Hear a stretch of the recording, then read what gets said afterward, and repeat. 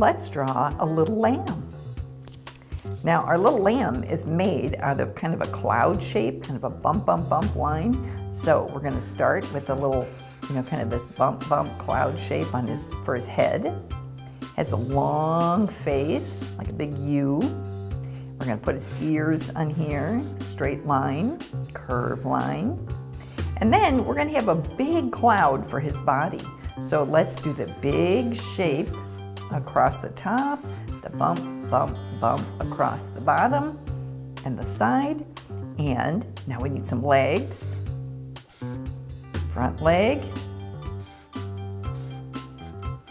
Now our back legs. Put that little extra line in there for the hoof. There. Oh, we need a face. Big eye, little circle, big circle, little circle, his nose, and that little line where his mouth is. Now, there's our sheep. Don't forget to like the video and subscribe to our channel.